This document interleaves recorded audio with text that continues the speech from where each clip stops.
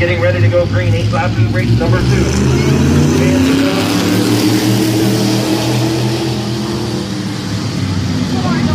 Wes Ennis with the race lead. Gary DeVore going to drop out outside. Seven going to slide up the race.